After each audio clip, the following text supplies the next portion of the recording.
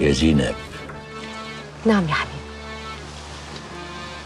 هيك فيها كلام كتير. عايز يتقال. قول يا زينب. أنا بصراحة عاوزاك تكلم حسن. ليه؟ هو عمل حاجة؟ لا ابدا. بس أنا عاوزاك تكلمه وتفهمه إنه عاوزين نتجمع كلنا في بيت واحد. عندك حق. وما يصحش كل واحد يقعد في بيت غير التاني. بس أنا بقول يعني يعني إيه؟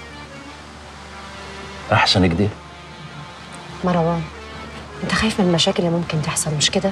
لا أنا عايز كل واحد يبقى براحته على هوا يعني. طب هو ده ينفع؟ أنت عايزة تقولي إيه يا زينب؟ قولي يا روح بي بص يا حبيبي أنا نفسي العيال كلهم يكبروا وهم متجمعين في بيت واحد زي ما كنتوا زمان. وعارفة متأكدة يا مروان ما حدش هيقدر يعمل الكلام ده غيرك أنت.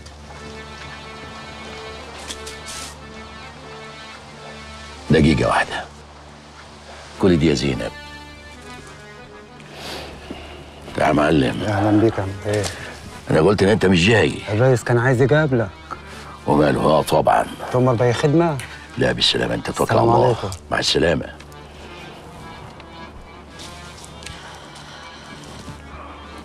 خير يا مروان. الواحد لو بيطلب حاجة وتيجي في ميعادها. هو هو ده عميل عندك؟ ده, ده تاجر بيشتري الفاكهة من عندنا في الأرض. كان عليه فلوس وجاي يدفعها عارف الواحد لو بيحترم مواعيده كان كل حاجة تبقى زي الفل. مش خناقات وتليفونات. واحد أعصابه تعبت قوي قوي يا زينب. إيه على فين؟ هناكل. تعال يا زينب تعالي تعالي يا زينب. اقعد يا زينب اقعد اقعد بسم الله الرحمن الرحيم.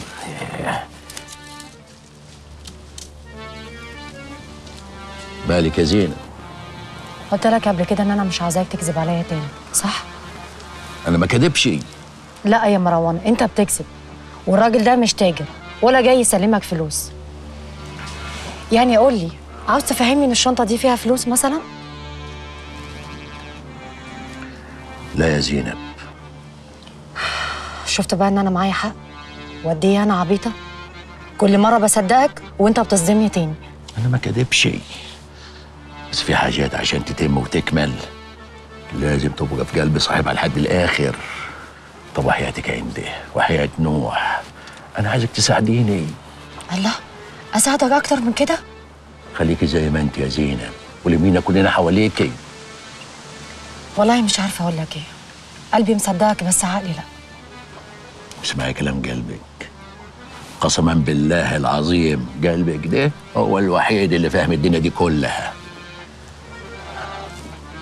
صراحة يا زينب في حاجة شاغلة بالي وعايز أقول لك عليها. إيه هي؟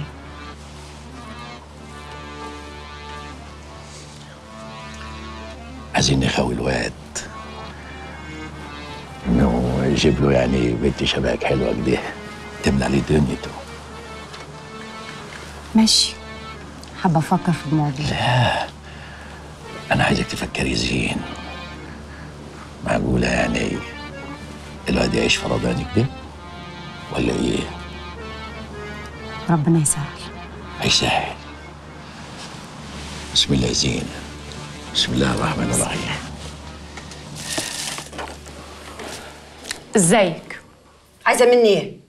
عايزاكي في حاجة؟ أنا أصلا جاية أطمن عليكي. تطمن عليا؟ هبلة أنا إياك ها؟ آه هبلة. هبلة وعبيطة وبيضحك عليكي كمان. بصي أنا فكرت كتير قوي قبل ما أجيلك. وقلت يا ترى سينا هتبقى ذكية وعارفة مصلحتها ولا هتفضل غبية زي ما هي؟ بقول لك إيه؟ مش عايزة لت وعجنه كتير. لت وعجن أيوه لت وعجن يا تقولي كلام له عوزة يا تمشي من هنا. هخرجك من هنا. آه. مش كده وبس. وهديكي اللي انت عايزاه. مش كده وبس. وهعيشك العيشة اللي انت نفسك فيها. وصوفا المعفن ده أنا هطلع عين أمه. بس بشرط. إيه هو؟ تخرجي من هنا تخلصي على كريمة من هنا.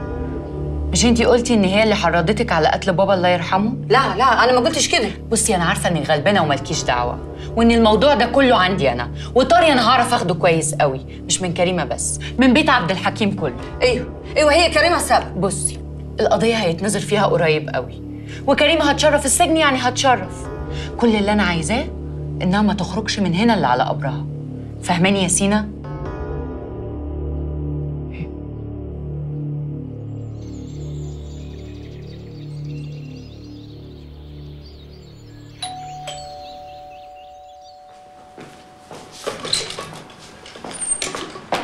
السلام عليكم. أهلا أهلا. إيه المفاجأة الحلوة دي؟ اتفضل. جيتوا على بالي. قلت اما أجي أسأل عليكم. لا شكلك كده كان عندك ميعاد لا والله ده أنا جايكم مخصوص. يا وحشناك اظن يا. اتفضل اتفضل. القهوة بسرعة مروان بيه.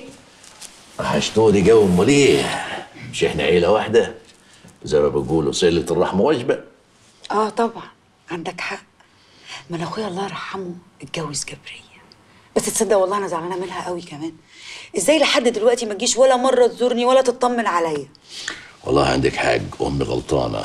وأنا بعمل اللي هي ما بتعمله شيء جاي ليه يا مروان؟ جاي ليه؟ كانك بتقولي لي اطلع بره لا والله أبدا.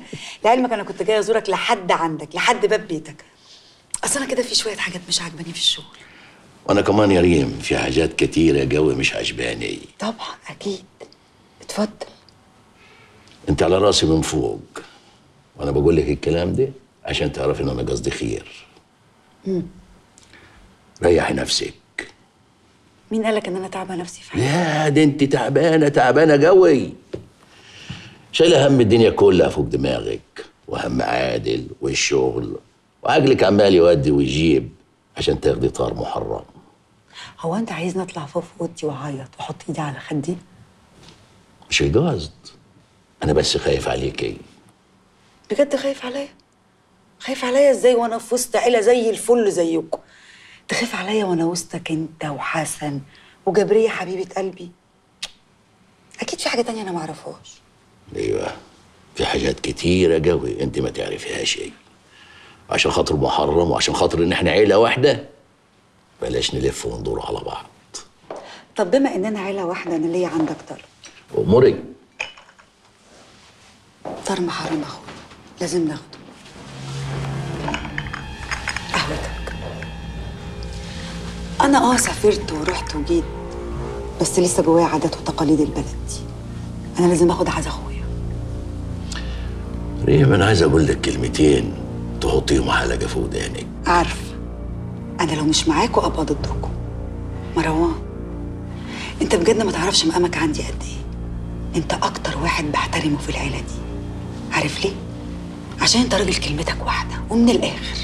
ريم أنا عايز أقول لك على حاجة. الناس اللي حواليك أنت ما تعرفهمش زي ما أنا عارفهم. إذا كان عادل ولا عصام أنا أقدر أحط صباعي في عين أي حد فيهم. وأجيبهم كلهم تحت رجلي.